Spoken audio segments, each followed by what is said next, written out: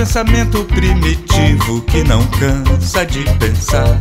Penso que se o cara é um executivo, ele tem que executar.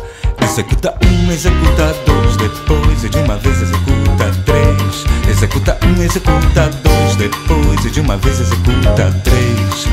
E ele vai à luta com toda a força bruta e com toda a consciência de que só existe a lei da sobrevivência, de que só existe a lei da sobrevivência.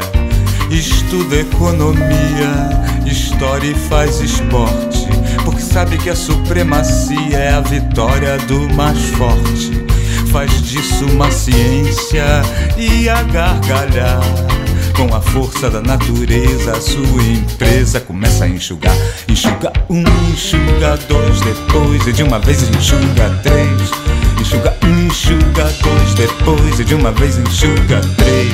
Enxuga um, enxuga dois, depois e de uma vez enxuga três. Enxuga um, enxuga dois, depois e de uma vez enxuga três. Quem pensa o contrário disto é primitivo, é, está querendo sonhar, inventar um novo sistema solar. Vejam bem, o que houve simplesmente foi um aumento de população e ao mesmo tempo o invento da automação. Essa é a descrição da situação. Eu não tenho outra opção. Enxuga um, enxuga dois, depois de uma vez enxuga três.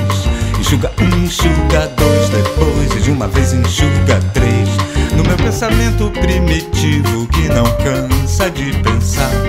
Penso que se o cara é um executivo, ele tem que.